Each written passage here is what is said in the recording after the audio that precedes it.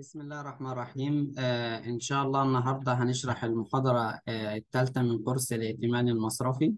آه هنشرح إزاي بنحسب قيمة الاحتياج التمويلي سواء للسنة الفعلية آه 2000 وليكن 2022 أو السنة المتوقعة البروجكتد 2023 آه هنوضح بمثال عملي إزاي بنحسب قيمة الاحتياج التمويلي. هنحسب هنوضح أيضا إزاي بيتم حساب آه، دورة التشغيل الواحدة آه، للعميل.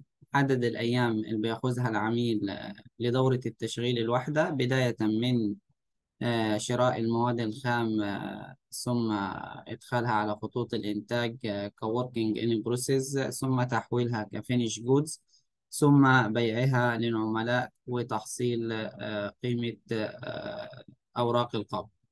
فهنوضح إزاي بيتم حساب طول مدة التشغيل أو دورة التشغيل الواحدة للعميل وهنوضح إزاي بيتم حساب آه، الاحتياج التمويلي سواء آه، للسنة الفعلية آه، 2022 أو السنة المتوقعة 2023 والمداخل اللي بيتم على أساسها آه، حساب قيمة الاحتياج التمويلي. فهنبدأ من المثال العملي ده. آه، قامت شركة الإصلاح في 31/12/2022 ببيع بضاعة بقيمة آه، 500 ألف جنيه. تكلفة البضاعة المباعة 400 ألف جنيه وكانت مبيعات الشركة النقدية بقيمة 100 ألف جنيه والمبيعات الآجلة بقيمة 400 ألف جنيه علما بأن قيمة العملاء في 31/12/2022 بقيمة 100 ألف جنيه والمخزون بقيمة خمسين ألف جنيه والموردين بقيمة ستين ألف جنيه علما بأن قيمة التسهيلات الممنوحة للعميل بقيمة تلاتين ألف جنيه. يعني التسهيلات اللي هنمنحها للعميل هنا قيمتها تلاتين ألف جنيه. طبعا ده مثال يعني بسيط توضيحي كده عشان إزاي إيه نوضح إزاي بيتم حساب آه، قيمة الاحتياج التمويلي للعميل سواء للسنة الفعلية اللي هي آه، 2022 أو السنة المتوقعة 2023 طبعا عشان أحسب آه، قيمة الاحتياج التمويلي هناك مدخلين. إما آه، مدخل تكلفة البضاعة المباعة أو المدخل الثاني هو آه، قيمة الاستثمار العامل. آه، المدخل الأولاني اللي هو تكلفة البضاعة المباعة فأنا من خلال تكلفة البضاعة المباعة بعرف آه، تكلفة التشغيل اليومية كام للعميل وبضرب تكلفة التشغيل آه، اليومية للعميل في طول دورة آه، التشغيل آه، الواحدة للعميل. يعني بشوف العميل آه، دورة تشغيله أخذت آه، كام يوم وبضرب آه، عدد الأيام لدورة التشغيل الواحدة وليكن دورة التشغيل الواحدة للعميل بيأخذها بداية من آه، شراء المواد الخام إلى أن يتم تحصيل آه، قيمة آه، أوراق القبض من العملاء وليكن 90 يوم. فبضرب ال 90 يوم دي في تكلفة التشغيل الواحدة اللي بيتكلفها العميل خلال دورة التشغيل الواحدة دي آه، بتديني تكلفة الاحتياج التمويلي طبعا المدخل الثاني آه، اللي بيتم آه، على أساسه حساب قيمة الاحتياج التمويلي وهو حساب قيمة الاستثمار العامل آه، أو بنسميه مدخل الميزانية فقط لأنه بيتم حساب قيمة الاستثمار العامل كقيمة مطلقة. بيت- بيتم حساب قيمة الاستثمار العامل ال working investment وبعد كده من خلال قيمة الاستثمار العامل دي أنا بشوف همول كام نسبة من آه، همول العميل نسبة قد إيه من قيمة الاستثمار العامل؟ وليكن قيمة الاستثمار العامل كانت بمئة ألف جنيه. فأنا بشوف هموله مثلا بنسبة أربعين في المية أو خمسين في المية من المئة ألف وبالتالي بموله بقيمة إيه؟ خمسين ألف جنيه. طيب آه، آه، أي المدخلين أدق آه، طبعا هنوضح آه، أي المدخلين أدق وأيهما أفضل. آه، بالنسبة لمدخل حساب قيمة الاحتياج التمويلي للعميل والمدخل الثاني آه، حساب الاحتياج التمويلي كنسبة من الاستثمار العامل هنوضح الأول أيهما أفضل. ده من خلال طبعا شرح المثال. هنشرح المثال وبعد كده بعد ما نشرح المثال هنوضح أي أي المدخلين أفضل. سواء آه، حساب الاحتياج التمويلي كنسبة من الاستثمار العامل أو حساب الاحتياج التمويلي طبقا لتكلفة البضاعة المباعة.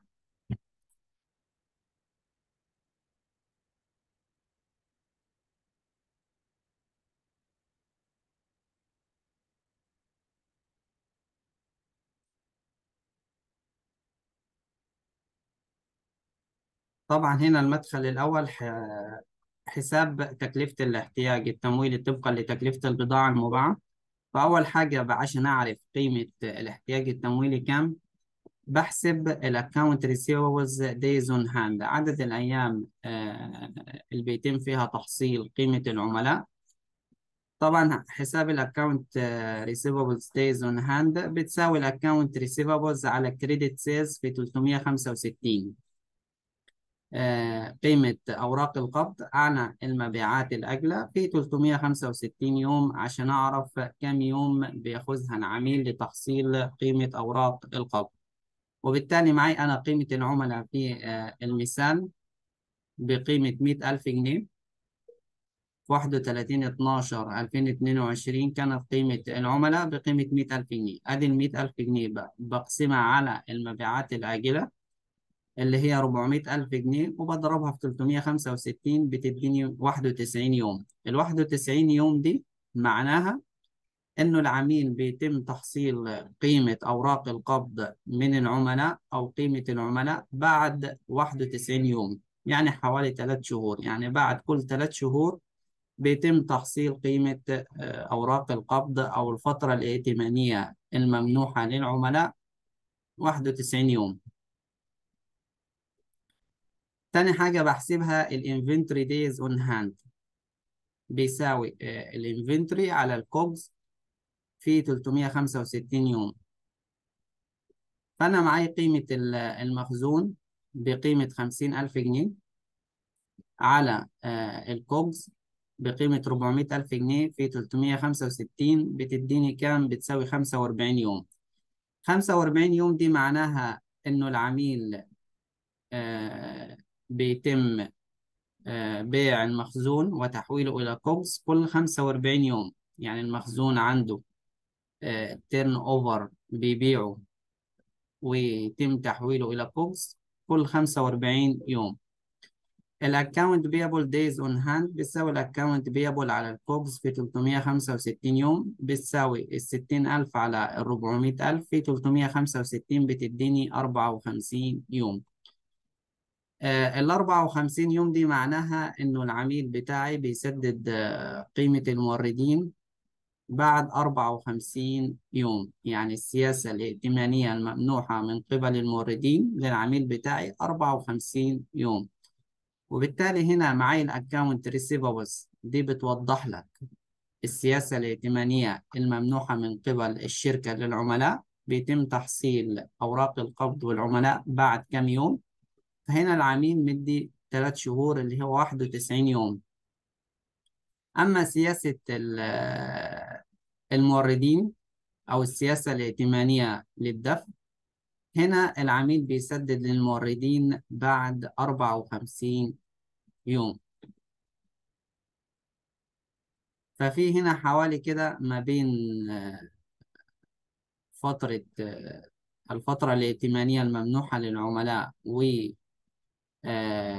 والفترة الائتمانية الممنوحة من قبل الموردين حوالي آه، 40 يوم. كديفرنس. يعني الراجل ده بيحصل أو العميل بيحصل قيمة أوراق القبض بعد 91 يوم وبيتم آه، سداد آه، قيمة الموردين أو الفترة الائتمانية الممنوحة من قبل الموردين بعد 54 يوم. ففي حوالي كده آه، 40 يوم. طبعا هنا في financing gap دي محتاج العميل طبعا يمولها في ال cash conversion cycles ال cash conversion cycles دي بتساوي آه، اللي هي طول دورة طول دورة التشغيل الواحدة للعميل. يعني العميل بياخد آه، قد إيه في آه، دورة التشغيل الواحدة؟ معاك ال account receivables days on hand زائد ال inventory days on hand minus ال account payable days on hand بيساوي الواحد وتسعين يوم زائد الخمسة وأربعين يوم زائد الأربعة وخمسين بيديك آه، بتساوي اتنين وتمانين يوم. 82 يوم دي معناها ال cash conversion cycles يعني آه، دورة التشغيل الواحدة للعميل بداية من آه، شراء المواد الخام ثم تصنيع هذه المواد الخام وتحويلها ل finished goods ثم تحويل ال finished goods إلى COGS كمبيعات. بيتم بتاخد كام؟ دورة التشغيل الواحدة 82 يوم. دورة التشغيل الواحدة بداية من شراء المواد الخام إلى أن يتم تحصيل قيمة آه، أوراق القبض. دورة التشغيل الواحدة للعميل آه، بتاخد 82 يوم. آه، طبعا لو عايز أعرف كم دورة تشغيل بياخذها العميل خلال السنة بقسم 365 يوم على 82 يوم. يعني العميل ده بيعمل آه، أربع دورات آه، ونص في السنة كدورة تشغيل. دورة تشغيل الواحدة معاه بتاخد 82 يوم. فخلال السنة بيتم عمل آه، حوالي أربع دورات ونص خلال السنة المالية. بيتم يعني دي بنسميها دورات متداخلة. معناه إنه العميل خلال بيشتغل خلال السنة آه، آه، بيتم شراء المواد الخام وتصنيعها ثم تحويلها ل finished goods ثم بيعها وتحويلها إلى COGS بياخد آه، في السنة أربع دورات ونص.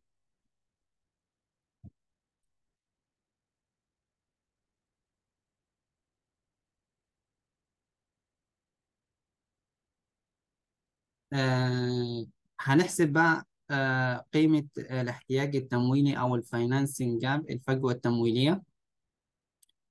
آه، بيتم حسابها طبعا آه، طبقا لتكلفة اليوم الواحد من العملية التشغيلية. بشوف أنا ال COGS قيمتها كام وبقسمها على 365 يوم.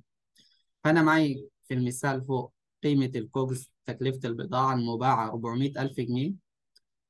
عشان أعرف تكلفة اليوم الواحد بقسم آه، قيمة ال 400 ألف جنيه دي على 365 يوم. فبتديني تكلفة اليوم الواحد أو تكلفة التشغيل الواحدة آه، على العميل كام. فهنا تكلفة التشغيل الواحدة حوالي 1095 عشان أعرف قيمة الاحتياج التمويني في الدورة الواحدة بتكلفني كام هتساوي 1095 في 82 يوم. هتديني التسعين ألف. التسعين ألف دي قيمة الدورة الواحدة للعميل. يعني دي تكلفة إيه؟ الدورة الواحدة للعميل. العميل هنا عشان يشتغل دورة تشغيل واحدة بداية من شراء المواد الخام إلى أن يتم بيع قيمة أوراق قيمة أوراق القبض بيتم تكلفته تسعين ألف جنيه في دورة التشغيل الواحدة. طيب أنا هموله قد إيه؟ من دورة التشغيل الواحدة دي. آه طبعا أنا قيمة التسهيلات الممنوحة للعميل كانت فوق في المثال 30000 جنيه. طيب آه 30000 جنيه دي تمثل قد إيه من قيمة آه دورة التشغيل الواحدة؟ فهنحسبها طبعا ال granted facility ratio اللي هي نسبة التسهيلات الممنوحة اللي هي facility value granted to client على الفاينانسنج نيد هنا التسهيلات الممنوحة للعميل 30000 جنيه. طيب هو أنا منحه دلوقتي تسهيلات ائتمانية بقيمة 30000 جنيه. والاحتياج التمويلي للعميل هو بيحتاج في الدورة الواحدة 90000 جنيه. فأنا هنا نسبة التمويل للدورة الواحدة أو تكلفة التشغيل الواحدة أنا بموله بنسبة 33% ده نسبة الاحتياج التمويلي اللي أنا بموله للعميل من من من قيمة دورة التشغيل الواحدة. ده حساب الاحتياج التمويلي طبعا آه للسنة المالية 2022 السنة الفعلية. طيب عشان أحسب آه، قيمة آه، الاحتياج التمويلي للسنة المتوقعة تمام وليكن في 30 8 2023 قامت شركة الإصلاح بموافتنا بمركز مالي في 30 6 2023 علما بأن قيمة المبيعات كانت 300 ألف جنيه وكانت آه، تكلفة البضاعة المباعة 250 ألف جنيه علما بأن قيمة العملاء في 30 6 2023 بقيمة 80 ألف جنيه والمخزون بقيمة 30 ألف جنيه والموردين بقيمة 25 ألف جنيه. طبعا أنا عشان أحسب آه، قيمة الاحتياج التمويلي آه، بالنسبة السنة الفعلية طبعا ما فيهاش مشكلة. آه، بحسب قيمة الاحتياج التمويلي كام لآخر سنة. بشوف الاحتياج الفعلي للعميل كان كام. وبحسب السنة المالية المتوقعة اللي هي 2023 طيب السنة المالية المتوقعة اللي هي 2023 دي بحسب قيمة الاحتياج التمويلي آه آه إزاي؟ يا إما آه بستند آه إذا كانت الشركة بتعمل مراكز مالية نصف سنوية فبجيب المراكز المالية النصف سنوية وبعملها annualizations آه بضرب آه قيمة آه المبيعات بتاعتها النصف سنوية عشان أحولها لسنوية بضربها في اتنين يعني هي آه، قيمة المبيعات في 30 ستة وليكن 50 ألف. عشان أعرف قيمة المبيعات خلال آه، السنة كام؟ السنة ك total بضربها في اتنين. وبجيب تكلفة البضاعة آه، نسبة تكلفة البضاعة المباعة إلى المبيعات. كام بشوفها طبعا من خلال ال historical يعني أنا بحدد نسبة تكلفة البضاعة المباعة إلى المبيعات. هيستوريكال بشوف خلال آخر ثلاث سنوات المتوسط كام أو أعلى نسبة في تكلفة البضاعة المباعة كانت كام؟ وبالتالي من خلالها آه، يا إما باخد آه، المتوسط إذا كانت النسب متقاربة خلال الثلاث سنوات وليكن أنا دلوقتي هحسب الاحتياج التمويل المتوقع ل 2023 يبقى أنا معي آه، ميزانية 2020 و2021 و2022 بشوف نسبة تكلفة البضاعة المباعة إلى المبيعات خلال الثلاث سنوات. لو كانت متقاربة باخد آه، المتوسط. لو في آه، سنتين آه، قيمة أو نسبة تكلفة البضاعة المباعة إلى المبيعات في difference بينهم باخد متوسط السنتين دول. أو باخد احتياطا أكبر نسبة في خلال الثلاث سنوات.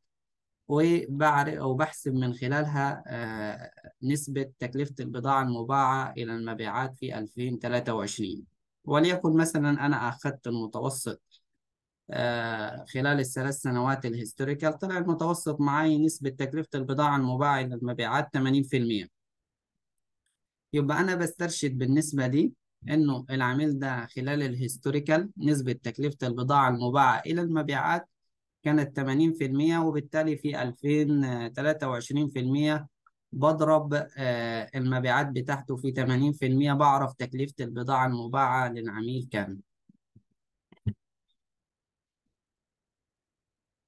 ده لو في مركز مالي. طب لو ما فيش مركز مالي بستند طبعا على إيه؟ على ال historical آه بشوف آه المبيعات بتاعته آه، خلال الثلاث سنوات بتاعته هل كانت في في زيادة في المبيعات ولا في انخفاض؟ وبعمل آه، آه، ال trend analysis لل sales وبالتالي بعمل ثم projected لل sales بناء على ال historicals آه، سواء إذا كانت الترند بتاع المبيعات في زيادة في عن المبيعات وبالتالي بعمل في آه، بعمل زيادة في نسبة المبيعات وليكن كانت في زيادة خلال الثلاث سنوات السابقة آه، في زيادة في المبيعات بنسبة 10% باجي أنا في السنة المتوقعة اللي هي 2023 بزود المبيعات بتاعتي بنسبة 10% وبضرب وبشوف برضو زي ما قلنا حساب نسبة ال COGS يا إما بحسبها طبقا للمتوسط أو حساب متوسط سنتين أو حساب الأعلى سنة نسبة تكلفة المبيعات إلى إلى المبيعات كام؟ وبعرف من خلالها نسبة آه، تكلفة البضاعة المباعة كام وأبتدي أكمل باقي الافتراضات بتاعتي آه، وحساب آه، آه، المخزون وحساب قيمة ال- العملاء وال account payables. دي طبقا إيه؟ لل historicals وعدد الأيام لكل قيمة من هذه آه، البنود كانت كام؟ آه وبحسب قيمة الاحتياج التمويلي هنوضح إزاي طبعا من خلال Excel sheet آه هنوضح إزاي بيتم حساب برضو قيمة الاحتياج التمويلي. ده بصفة عامة. فأنا لو معاي هنا مركز مالي في ستة ألفين تلاتة وعشرين هبتدي أعرف ال annualized sales كام وبالتالي بضرب قيمة المبيعات في اتنين وبشوف نسبة تكلفة المب- البضاعة المباعة إلى الم- إلى المبيعات كانت كام خلال الثلاث سنوات السابقة. أو المتوسط آه، لو في difference في نسبة تكلفة البضاعة المباعة إلى المبيعات في ديفرنس خلال الثلاث سنوات وبالتالي باخد متوسط سنتين أو النسبة الأعلى. فهنا في 30 8 2023 قامت شركة الإصلاح بموافاتنا بمركز مالي منتهي في 30 6 2023 علما بأن قيمة المبيعات كانت 300 ألف جنيه وكانت تكلفة البضاعة المباعة 250 ألف جنيه علما بأن قيمة العملاء في 30 6 2023 بقيمة 80 ألف جنيه والمخزون بقيمة 30 ألف جنيه والموردين بقيمة 25 ألف جنيه. طبعا المطلوب هنا هنحسب ال account receivables days on hand ال inventory days on hand. حساب ال account payable days on hand حساب ال cash conversion cycles days on hand. حساب قيمة الاحتياج التمويلي. الحل طبعا عشان نعرف قيمة المبيعات السنوية هنضرب قيمة المبيعات النصف سنوية اللي هي 300 ألف هنضربها في اتنين.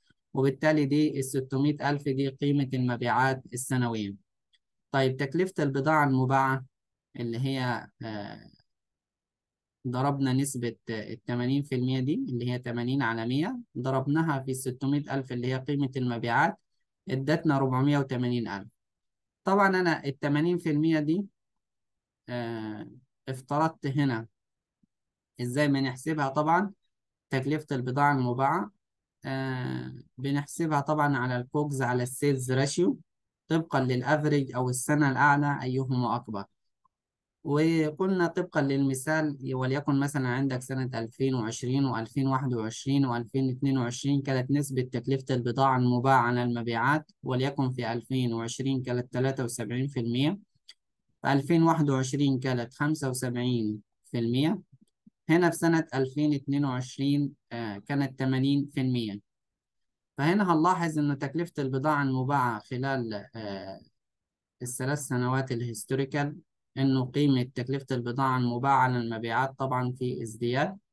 وهنلاحظ هنا بشكل آه، تم زيادة تكلفة البضاعة المباعة في سنة 2022 بنسبة آه، 5% فهنعرف طبعا الأسباب آه، اللي أدت آه، إلى زيادة التكلفة المباعة بنسبة 5% من 2021 ل 2022 آه ونعرف الأسباب زيادة تكلفة البضاعة المباعة. وبالتالي آه هنختار هنا آه هل هي يعني بصفة مؤقتة أم يعني طبيعة هذه الصناعة آه بتتطلب زيادة التكلفة ال- البضاعة من سنة لأخرى آه من نسبة معينة.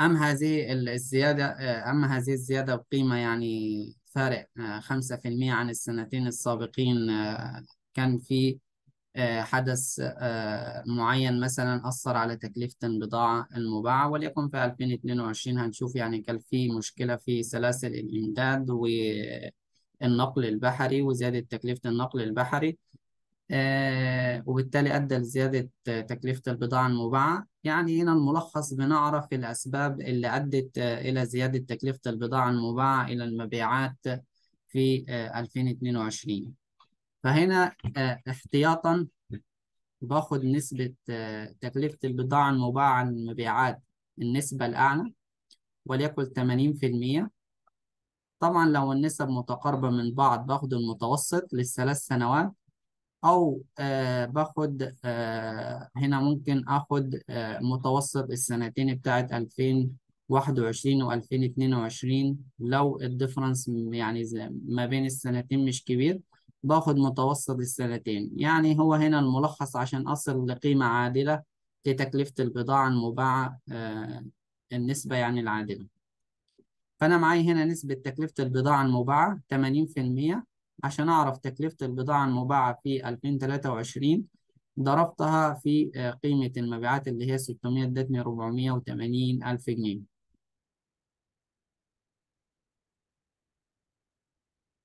طبعا أنا هنا عشان أحسب آه، الاحتياج التمويلي للسنة المتوقعة 2023 أخدت ال account receivables days on hand وال inventory days on hand وال account payable days on hand طبقا لآخر سنة مالية. أنت بتشوف طبعا يعني خلال ال historical الثلاث سنة الثلاث سنوات آه، الماضية فترة التحصيل هل هي في آه، فترة التسهيل الممنوحة للعملاء؟ آه، هل هي في آه، زيادة؟ في فترة الائتمان أم في تناقص وبناء عليه بتختار طبعا آه، السنة المالية طبعا آه، الأعلى الأعلى قيمة فيهم آه، أيهما أكبر. طبعا ال inventory days on hand طبعا بتشوف الترند بتاع خلال ال historical بتاع الثلاث سنوات. وكذلك ال account payable ال days on hand السياسة الائتمانية الممنوحة للعميل هل كانت 54 يوم ولا بت... ولا كانت أقل في السنتين الماضيين مثلا 30 و20 بتشوف الترند بتاع ال account payables بالنسبة لل... للأصول. ال account receivable inventories days بتاخد طبعا المتوسط أو الأعلى قيمة أيهما أكبر. وفي الالتزامات بتعكس بتاخد المتوسط أو أيهما أقل قيمة آه،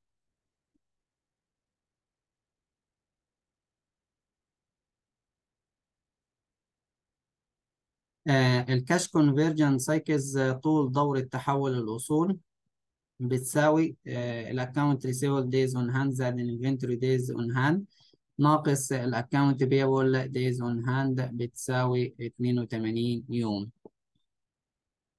طبعا هنا آه، طول دورة آه، التحول آه، أو طول دورة التشغيل الواحدة 82 يوم. آه، هتلاقيها آه، في المتوقع 2023 زي 2022 لأن إحنا هنا أخدنا الافتراضات بتاعت آخر سنة 2022 ومشينا على الافتراضات آه، الخاصة بالسنة المالية اللي هي آخر سنة 2022 آه، بعد كده بتحسب قيمة الاحتياج التمويلي آه، طبقا لمبدأ أو مدخل تكلفة ال- البضاعة المباعة. بتشوف الكوجز القيمة قيمة الكوجز السنوية كام؟ وبتقسمها على 365 يوم عشان نعرف تكلفة التشغيل الواحدة لليوم الواحد لليوم الواحد.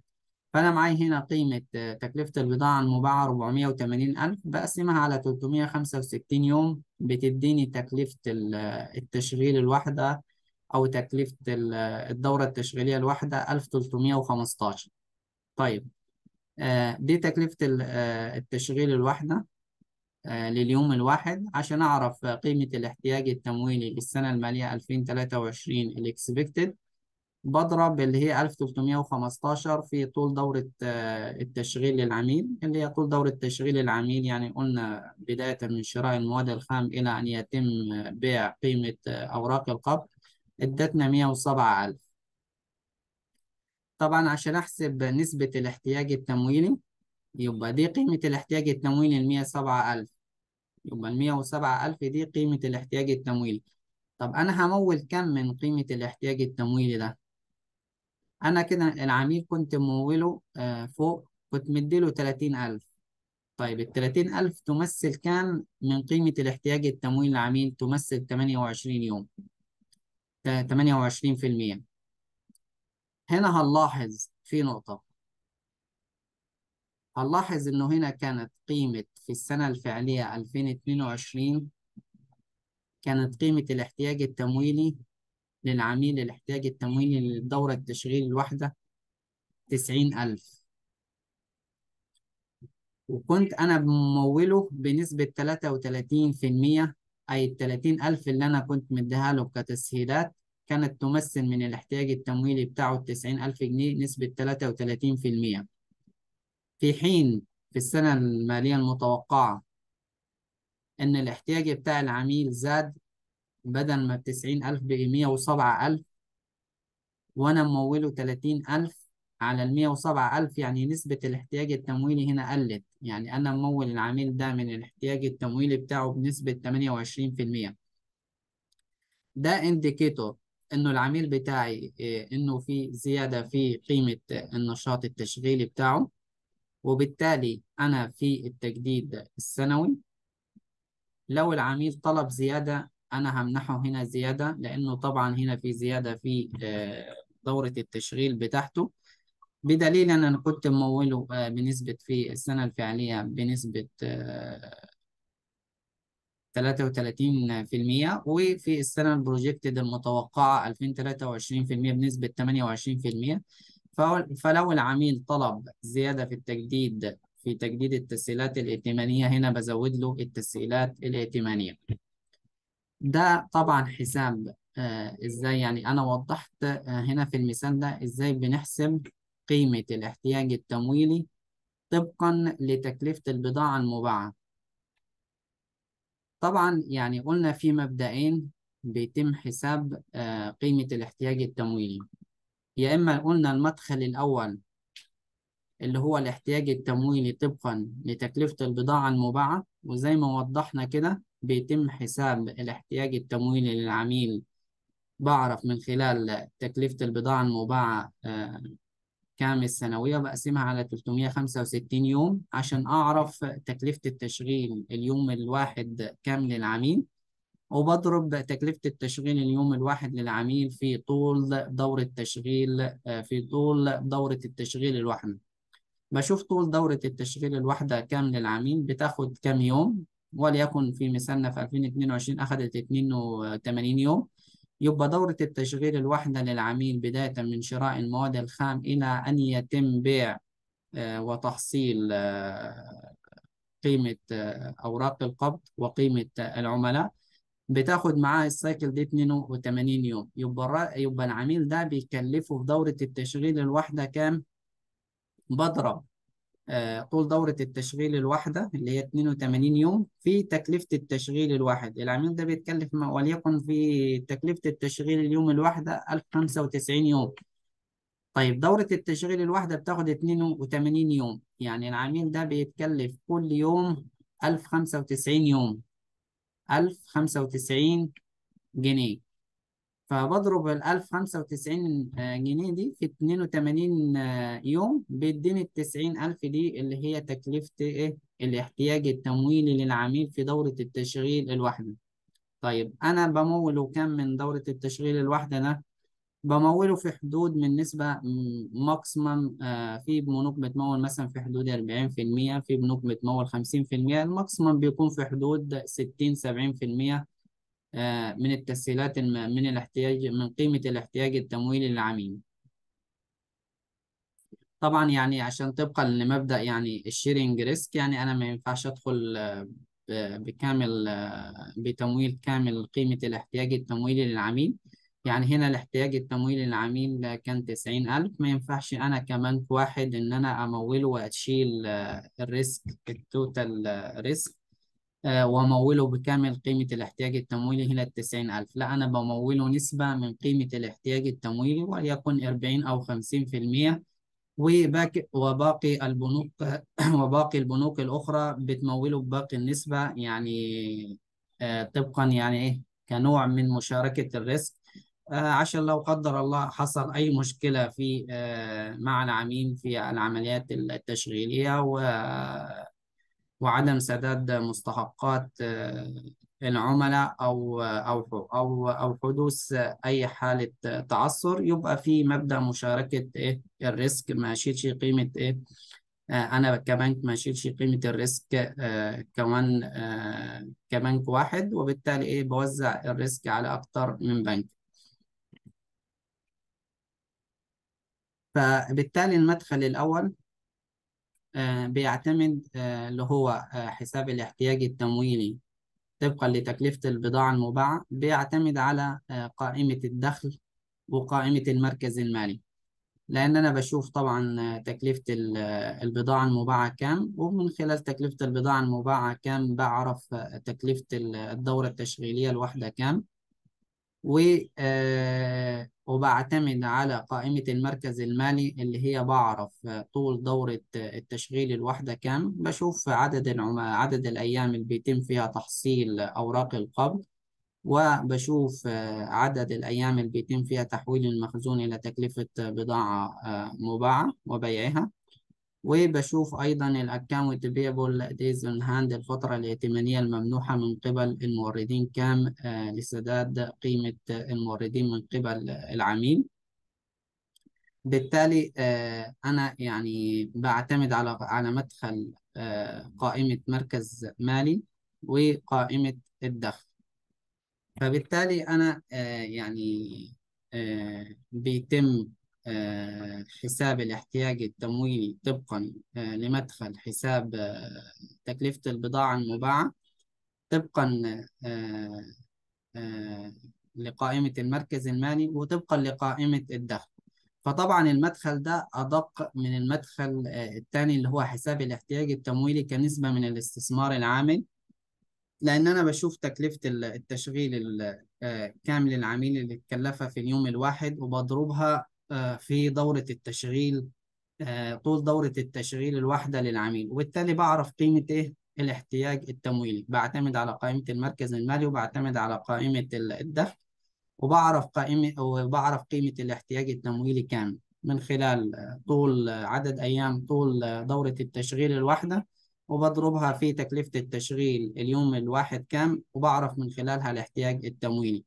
فده آه، أدق من حيث معرفة آه، طبعا عدد الأيام اللي بيتم فيها تحصيل آه، أوراق القبض من العملاء كام؟ بتعرفك 91 يوم هنا. يعني أنا من خلال ال account receivable days on hand عرفت هنا إنه 91 يوم إنه العميل بتاعي بعد 91 يوم بيتم تحصيل أوراق القبض من العملاء. وكذلك بيتم ال inventory days on hand 45 يوم. بيتم تحويل المخزون إلى COGS وبيعه بعد 45 يوم. والسياسة الائتمانية ال account payable days on hand بيتم آه، دفع قيمة الموردين بعد 54 يوم. فطبقا لمدخل الاحتياج التمويلي طبقا لتكلفة البضاعة المباعة. ده أكثر دقة. بيعرفك آه، بالتفصيل آه، قيمة الاحتياج التمويلي كم؟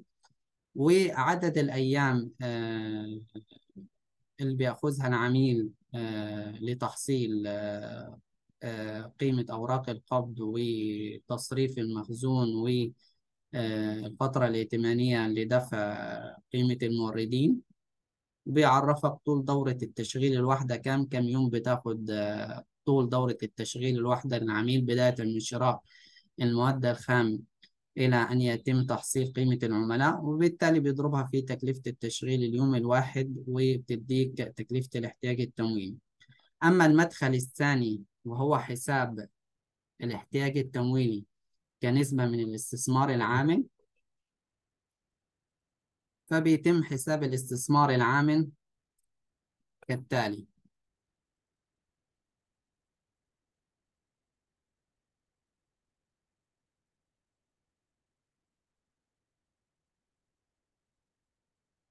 معاك ال working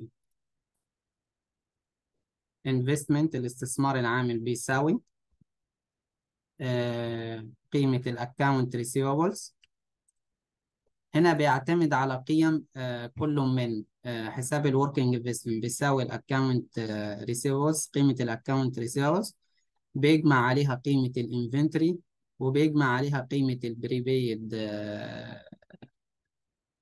prepaid assets اللي هو الأصول المدفوعة مقدما زي ال rent أو أي حاجة مدفوعة prepaid expenses المصروفات المدفوعة مقدما أي مصروفات مدفوعة مقدما.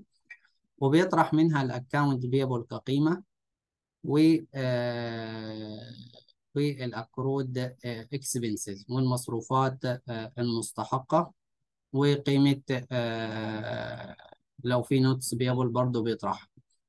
فأنت ال working investment هنا بيساوي قيمة بيساوي قيمة ال account receivables plus ال inventory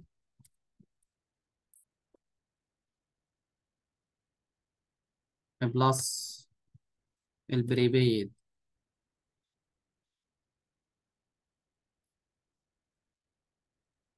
ال prepaid expenses وبتطرح منه قيمة ال account payable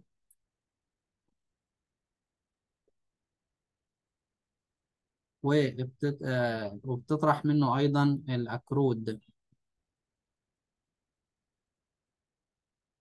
Expenses.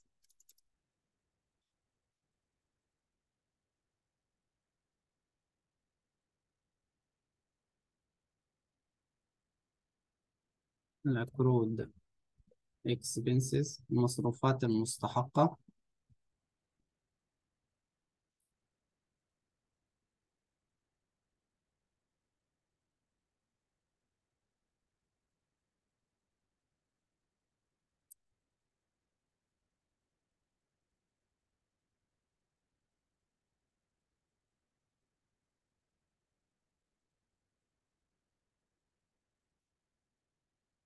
فهنا حساب قيمة الاستثمار العامل هنا بيتم حسابها كقيمة مطلقة.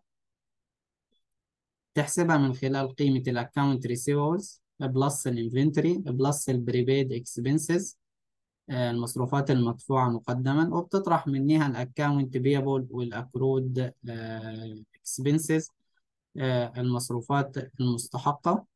وبتديك قيمة الاستثمار العامل وليكن طلعت مثلا من خلال حساب آه، قيمة المعادلة دي طلعت وليكن مئة ألف.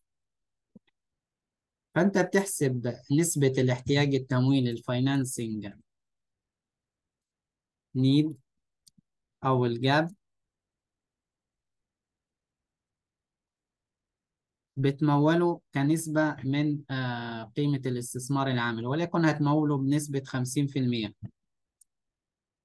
في المئة ألف بيساوي قيمة خمسين ألف.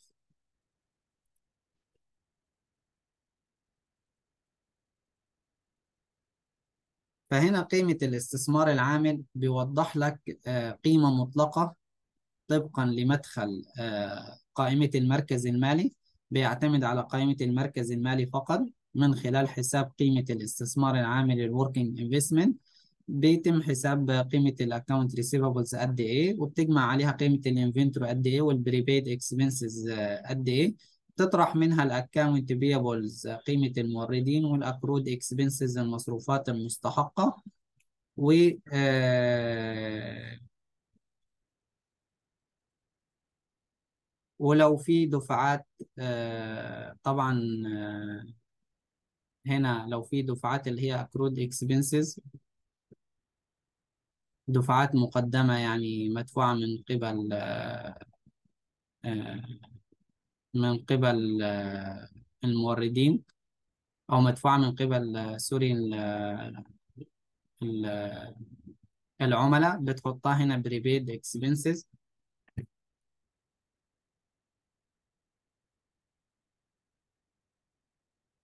prepaid expenses طبعا يعني إيه آه زي أي مصروفات مدفوعة مقدما زي أي rent إيجار آه أي مصروفات آه آه دفعات مدفوعة مقدما بتحطها في ال prepaid expenses وهنا طبعا آه لو في account payable قيمة آه الموردين. ولو في أي مصروفات مستحقة عليك من مرتبات أجور. أو أو لو في advance برضه payment تجمعها هنا. Advance.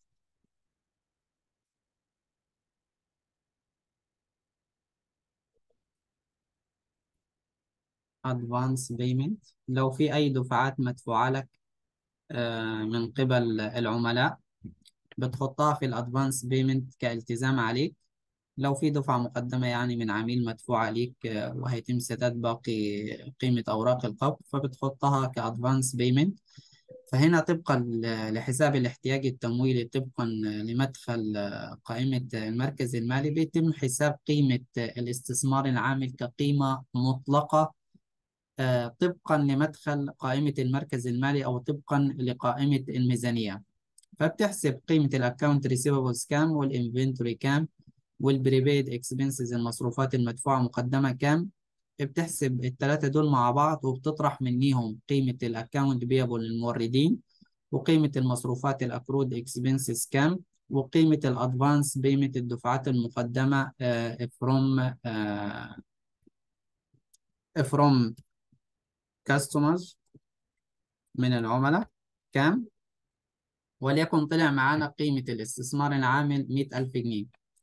فهنا أنا عرفت الاحتياج التمويلي آه، للعميل من خلال آه، ال main operation بتاعه إنه العميل ده الاحتياج التمويلي بتاعه مية ألف جنيه.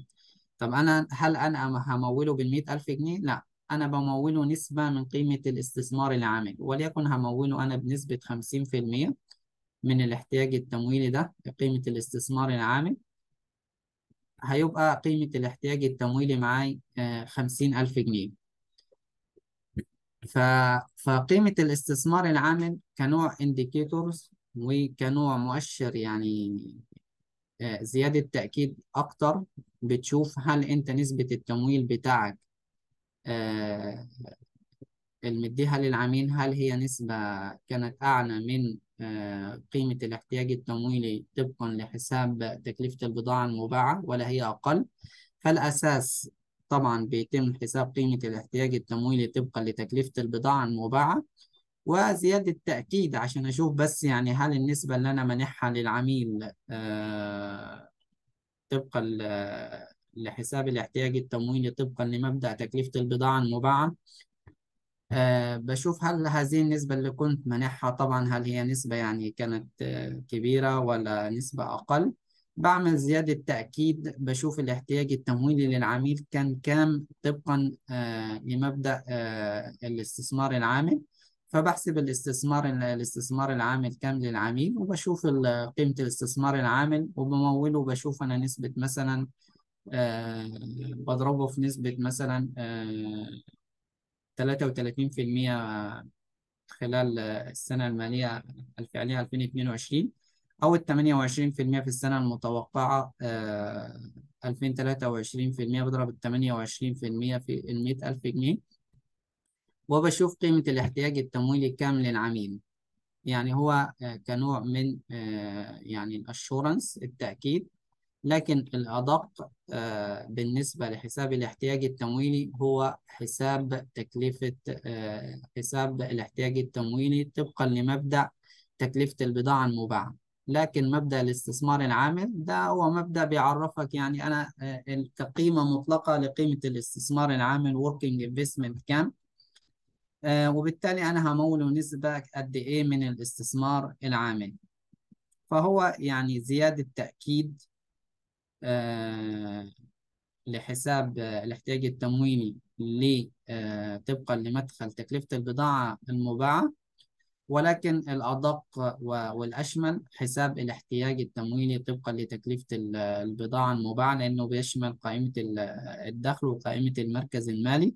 وبيعرفك بالت- بالتفصيل آه، طبعا عدد آه، الأيام اللي بيتم فيها تحصيل آه، أوراق القبض وعدد الأيام اللي بيتم فيها تصريف المخزون وعدد الأيام اللي بيتم فيها سداد ال account payables لكن ال working investments بيعتمد على آه، قائمة المركز المالي فقط آه، وليس حساب تكلفة آه، تكلفة التشغيل اليومية كام اللي هي قسمة ال- COGS على 365 يوم تعرف تكلفة التشغيل اليومية كام؟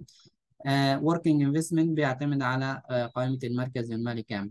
آه، على قائمة المركز المالي فقط اللي هو بيعرف قيمة الاستثمار العامل آه، كام؟ كقيمة مطلقة وهتموله كنسبة من الاستثمار العامل آه، قد إيه. ده الملخص بالنسبة طبعا آه، إزاي بنحسب آه، قيمة الاحتياج آه، التمويلي آه، للعميل. سواء طبعا آه، زي ما قلنا طبقا لمدخل آه، التكلفة البضاعة المباعة أو طبقا لمدخل الاستثمار العامل. آه، شكرا لحضرتك.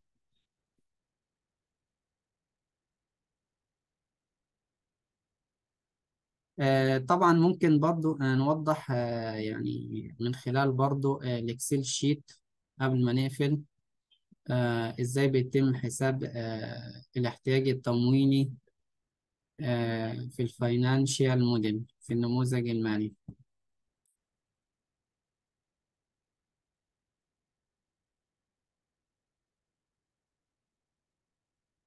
طبعا هنا ال historical بيكون معاك ثلاث سنوات اللي هم ال historical آه وليكن 2020 و2021 و2022 وانت بالتالي بتعمل projected للسنة المالية اللي هي 2023 لو طبعا تسهيلات قصيرة الأجل حد جاري مدين تعمل projected لسنة واحدة لو هتمول تسهيلات قصيرة الأجل لكن لو هتمول تسهيلات طويلة الأجل سواء قرض متوسط ثلاث سنوات أو قرض خمس سنوات بتبتدي تعمل بروجيكشن طبعا ثلاث سنوات أو خمس سنوات.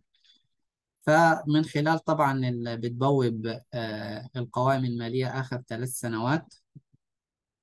وبتبتدي تشوف آه، قيمة المبيعات هل هي في آه، زيادة أم نقصان؟ وسبب الزيادة في المبيعات ونقصان المبيعات.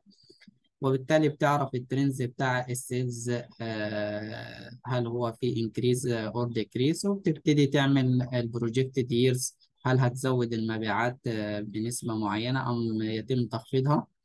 كذلك قيمة ال COGS آه، بتشوف قيمة ال COGS خلال الثلاث سنوات الماضية هل هي كانت في زيادة أم في نقص أم في تذبذب في difference وبالتالي هتقرر هتشوف هتاخد متوسط الثلاث سنوات أو متوسط سنتين أو أكبر سنة أيهما أكبر. وبتحدد تكلفة نسبة تكلفة البضاعة المباعة على المبيعات كام. وبتعمل ال projected years آه، تكلفتها كام تكلفة البضاعة المباعة ال projected years وبتبتدي طبعا تعمل ال depreciations آه، طبقا لحساب طبعا جدول الأصول الثابتة وبتحسب ال provisions المخصصات وبتوصل آه، لل net profit آه، حساب ال net profit after tax كذلك بالنسبة لقائمة المركز المالي تبتدي تعمل projections للأصول و projection لل inventory وال account receivables بناء طبعا على آخر ثلاث سنوات. بتشوف ال account receivables عدد أيام التحصيل كانت كام؟ هل هي في الثلاث سنوات 2020 و2021 و2022 هل هنا ال account receivables days on hand في زيادة أم نقصان؟ وبتبتدي تاخذ طبعا آه، هتشوف هتاخذ المتوسط. لو في difference آه، بين آه، سنوات الدراسة أو القيمة الأعلى أيهما أعلى في حالة الأصول وكذلك آه، بتحسب قيمة ال inventory من خلال عدد أيام طبعا. يعني أنت بتحسب معنا المعادلة ال account receivables days on hand بيساوي طبعا ال account receivables على ال credit sales ب 365 يوم. فأنت عشان تحسب قيمة ال account receivables في ال projection آه، معاك يعني معطيات ناقصة معاك قيمة ال account receivables days on hand ومعاك قيمة ال credit sales ال account receivables days on hand بتجيبها من خلال ال historical هتشوف هتاخد خلال آخر سنة مالية ولا هتاخد المتوسط لآخر ثلاث سنوات أو متوسط سنتين. وقيمة ال credit sales طبعا. اللي هي عملت لها projections آه، أول حاجة بتعملها projections آه، لما بتيجي تعمل projection بتعمل projection طبعا بتبدأ بالمبيعات فأول حاجة بتبدأ بيها المبيعات وبتبتدي تعمل تشوف الترند بتاع المبيعات هل هو في زيادة أم نقصان آه وتبتدي تحدد ال projections credit sales نسبتها قد إيه؟ هل هيتم زيادتها مثلا وليكن 5% أو 10% أم سيتم decrease in sales هيتم تناقص قيمة المبيعات بنسبة معينة؟ على حسب طبعا آه الترند بتاع ال sales تبتدي طبعا تعمل ال projection بتاعك إلى أن تصل آه، بتحدد قيمة الاحتياج التمويلي بتاعك ال short term borrowing لو تسهيلات قصيرة الأجل بتشوف طبعا العميل بتاعك هل هو محتاج تسهيلات قصيرة الأجل وبالتالي بتحدد قيمة الاحتياج التمويلي آه، قصيرة الأجل اللي هي short term borrowing أو لو أول عميل محتاج طبعا تسهيلات آه، طويلة الأجل هيعمل توسعات في المصنع شراء آه، آلات معدات توسع في مصنع جديد. وبالتالي هتموله قرض متوسط الأجل أو طويل الأجل فبالتالي بت- بتمنح العميل قرض طويل الأجل لونج تيرم ديت بتوضح الاحتياج التمويلي طبعا قيمة الاحتياج التمويلي هنا من خلال ال Excel sheet آه، بتوضح قيمة ال long term كام وال current portions الجزء اللي هو المتداول آه، من القرض طويل الأجل. فبتشوف العميل بتاعك هل هو محتاج تسهيلات قصيرة الأجل أم حساب آه، أم محتاج تسهيلات طويلة الأجل. من خلال طبعا عمل projections للثلاث سنوات ال historical بتشوف طبعا آه، تعمل ال assumption بتاعتك للأصول وال assumption بتاعتك للالتزامات وحقوق الملكية. وبتطلع قيمة آه، الاحتياج التمويلي بتاعك سواء كانت قصيرة الأجل أو الاحتياج التمويلي لو هتعمل توسعات مع العميل شراء آه، آلات ومعدات أو توسعات في مصنع جديد أو شراء خطوط إنتاج تبتدي تموله long term debt وبتوضح آه، الجزء القصير الأجل. ده دي ال Excel sheet أو ال financial models اللي بتحسب من خلالها طبعا الاحتياج التمويلي. طبقا لل historicals آه، للثلاث سنوات ال historicals فبتعمل ال assumption بتاعتك للأصول وال assumption بتاعتك للالتزامات وحقوق الملكية وبتطلع تحسب قيمة الاحتياج التمويلي بتاعك. طبقا طبعا طبعا يعني إيه يعني ده مبني طبعا على الافتراضات. يعني بنشوف أول حاجة بنبدأ بيها آه، بنبدأ بالمبيعات. عشان نعمل نعرف آه، قيمة الاحتياج التمويلي سواء لو كنت همول العميل آه، يعني ده حساب يعني إيه آه، طبقا لل Excel sheet. يعني اللي كنا نشرحه هناك ده بتيجي تعمله هنا على ال Excel sheet بشكل أوسع بتحسب من خلاله. بتحط طبعا تبوب القوائم المالية بتاعت آخر ثلاث سنوات. قيمة المبيعات بتاعتها خلال آخر سنوات كام؟ وابتدي تعمل ال projected year لسنة واحدة آه، لو كان تسهيلات قصيرة الأجل أو كانت تسهيلات آه، طويلة الأجل آه، بتمنح العميل طبعا قرض متوسط سواء ثلاث سنين أو خمس سنين. بتشوف الترند بتاع المبيعات بتاعك هل increase or decrease وبالتالي based on historical data بتعمل ال projected sales في السنة المالية المتوقعة. وبتبتدي أيضا تحسب نسبة تكلفة البضاعة المباعة على المبيعات من خلال ال historical data وتكمل ال projection بتاعك عادي إلى أن تشوف ال difference هنا. تعمل projections لل assets الأصول للكاش والماركتابل سيكيورتيز والأكاونت ريسيفبلز والإنفنتوري وتشوف لو العميل هنا هيعمل توسعات في ال fixed assets property plant and equipment. ولو في استثمارات عند العميل. كل ده بتبوبه آه، بتبوب ال historical الثلاث سنوات السابقة وبتبتدي تعمل projections لسنة 2023 لو هتموله آه، تسهيلات قصيرة الأجل أو آه، أكتر من سنة في حالة التسهيلات طويلة الأجل. وبتحدد طبعا هنا التسهيلات قصيرة الأجل كام؟ projected ولو هتموله قرض طبعا بتح- بتحط هنا قيمة آه، القرض طويل الأجل long term debt والجزء ال current portion من القرض طويل الأجل. طبعا آه، قائمة ال cash flow دي بتطلع لك جاهزة بعد ما بتعمل التبويب بتاع قائمة ال- الدخل آخر historical آخر ثلاث سنوات. وتبوب آه، قائمة الميزانية ال historical برضو آخر ثلاث سنوات وتعمل ال projected year. تبتدي طبعا تطلع لك ال cash flow آه، يعني ready جاهزة ال difference.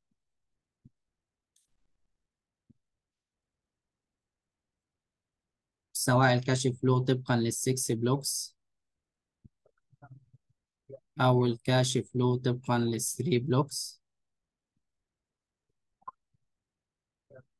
وهنا بتوضح طبعا إيه النسب المالية.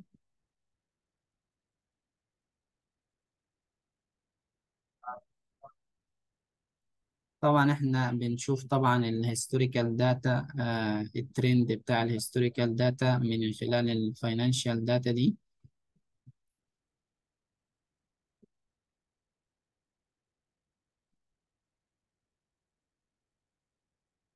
بتشوف هنا ال account receivables عشان تحسب مثلا قيمة ال account receivables كام ال projected بتشوف هنا الترند بتاع ال historical ال trend بتاع ال account receivable days on hand بتلاقي هنا وليكن ثلاث أيام العميل هنا كان في 2020 آه، بيحصل بعد يومين. في 2021 بيحصل بعد ست أيام. في 2023 بيحصل بعد تسع أيام. فأنت هنا في difference ما بين مثلا سنة 2020 والسنتين السنة اللي هي 2021 و 22 هنا ممكن تشوف هنا أسباب الزيادة في ال account receivables في زيادة عدد أيام التحصيل. هل في توسعات في المبيعات؟ آه، أم في أم العميل بيبتدي يدخل زيادة market share بتشوف هنا الأسباب وبناء عليها بتحدد هل هتاخد المتوسط ولا تاخد آخر سنة. وبناء على هذه النسب بنعمل طبعا الافتراضات بتاعتنا وال assumptions لبناء النموذج المالي آه، بناء على ال historical data وبن وبنعد طبعا ال projected year السنة المالية ال projected أو سواء كانت لسنة مالية 2023 أو أكثر من سنة في حالة التسهيلات آه، طويلة الاجل طبعا يعني يا رب تكونوا استفدتوا. لو في أي استفسارات طبعا يعني إن شاء الله هنكون على تواصل. just comment وأنا هرد يعني على كل الاستفسارات بإذن الله. شكرا لحضرتك